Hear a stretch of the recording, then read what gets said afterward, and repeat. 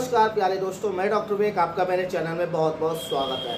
दोस्तों, आज हम आपको बताने वाले हैं कि अगर आपके चेहरे पर मतलब जो आपका जो चेहरा है फेस है, उस पर अगर स्वेलिंग आ गई है, या कह लें कि आँखों के नीचे स्वेलिंग है लिप्स के नीचे स्वेलिंग है अपर लिप्स के ऊपर स्वेलिंग है फोर पर स्वेलिंग है आइज़ के कॉर्नर पर स्वेलिंग तो उससे क्या क्या आपको प्रॉब्लम्स होती हैं? मतलब आपके शरीर के अंदर जो मशीनरी है ऑर्गन्स है, क्या वो प्रॉब्लम्स में है या उनकी जो प्रॉब्लम्स है बढ़ती जा रही जिसकी वजह से आपके चेहरे पर जो प्रॉब्लम्स है वो नज़र आ जाती है।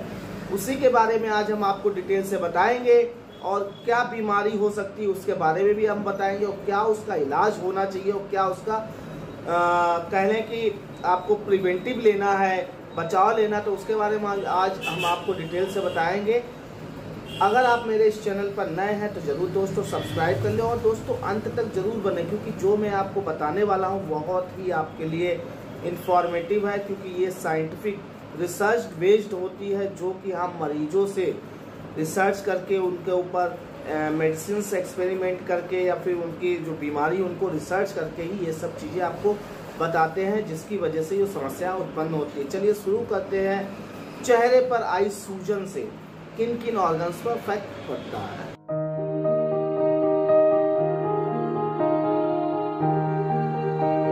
नमस्कार दोस्तों दोस्तों, आज हम बात कर रहे हैं कि आपके जो चेहरे पर सूजन या स्वेलिंग आ जाती है, उभार सा आ जाता है तो उसके क्या क्या कारण होते हैं और किन किन ऑर्गन्स पर आपके शरीर के अंदर प्रॉब्लम्स क्रिएट करते हैं। दोस्तों, अक्सर आप देखते हैं, कई लोगों को ज़्यादातर मैंने देखा है, उनकी आँखों के नीचे घेरे हो जाते, ज़्यादातर सूजन आ जाती है। उनको आपने देखा ही होगा कि पफ़ी में स्वेलिंग आती है, पफ़ी आइस हो जाती है, नीचे स्वेलिंग ज़्यादा आती है।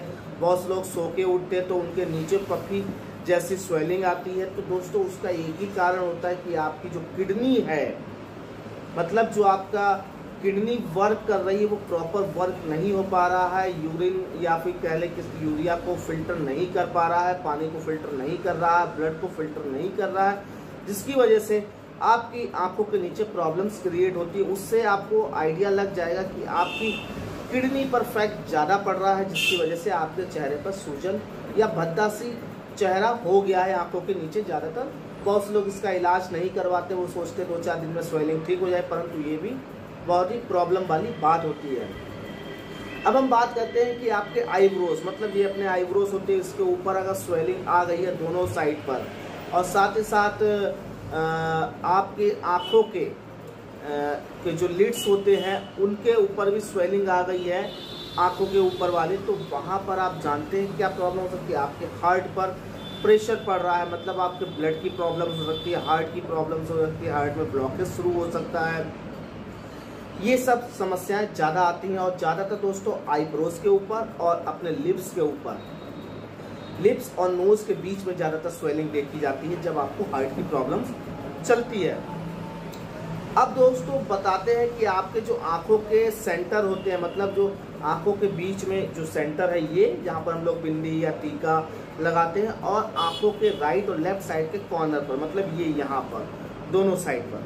अगर यहाँ पर आपको स्वेलिंग फील हो रही है, सूजा हुआ ज़्यादा है तो आपके समझ के चलिए कि आपका जो लीवर है, आपके लीवर में अफेक्टेड हो गया है, सूजन आ गई है लीवर पर और वो प्रॉपर अच्छे से आपके वर्क नहीं कर पा रहा है, जिसकी वजह से आपको खाना डाइजेस्ट नहीं हो पा रहा है कॉन्स्टिपेशन लगातार बना रहता है, पेट भारी भारी सा लगता रहता है, अफारा सा आता है, गैस बहुत ज़्यादा बनती है और कब्ज बना रहता है। तो ये कुछ सिम्टम्स होते हैं जो आपको इंडिकेट करते हैं आपके चेहरे को लेकर के, जिससे आपकी जो समस्या है वो आपके सामने आती है।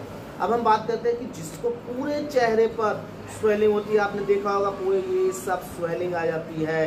तो दोस्तों, उसके लिए आपको, हो सकता है कि आपके शरीर में थायराइड की प्रॉब्लम चल रही हो, या फिर आपने कोई भी ऐसी मेडिकेशन पर जिससे आपको एलर्जी हो गई हो आपको कोई भी स्किन की प्रॉब्लम चल रही हो, बहुत सालों से सोरियसिस जैसी एक्जिमा जैसी प्रॉब्लम्स जिसकी वजह से आपके चेहरे पर स्वेलिंग आ जाती है। आप कोई भी मेडिकेशन लेंगे तो आपके चेहरे पर स्वेलिंग आ ही जाती है।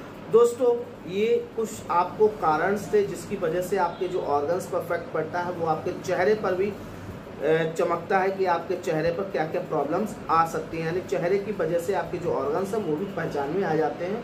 इसलिए आप अपने चेहरे पर फेस पर फोकस बनाए रखें और अपनी सुंदरता बनाए रखें, जिससे आपके चेहरे का रौनक बना रहे। अगर आपके लीवर्स में ऑर्गन्स में किडनी में हार्ट में लंग्स में अगर कोई भी प्रॉब्लम आती तो आपके चेहरे के माध्यम से पता लग ही जाता है। और अपना दोस्तों, अगर इन सब चीज़ों में प्रिवेंटिव करना है तो उसमें क्या करना चाहिए? सबसे पहले आपको अपना डाइट प्लान बिल्कुल सुनिश्चित करना पड़ेगा। खाने का टाइम पीरियड सही करना पड़ेगा।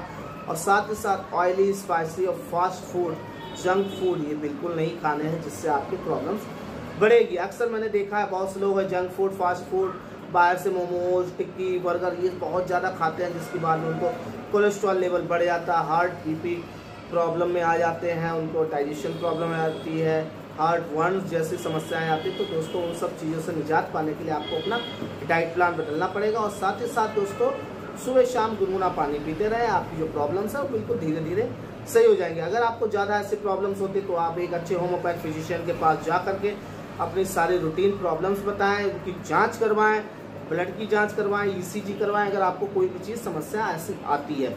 दोस्तों, अपने आप कोई भी घरेलू उपाय ना करें ऐसे, अगर आपको ये सब समस्याएँ ज़्यादा लगती हैं। और ज़्यादा दिनों तक घर पर बैठे भी ना है अगर आपको ज़्यादा प्रॉब्लम्स होती है। आशा करता हूँ आज का वीडियो समझ में आ गया होगा।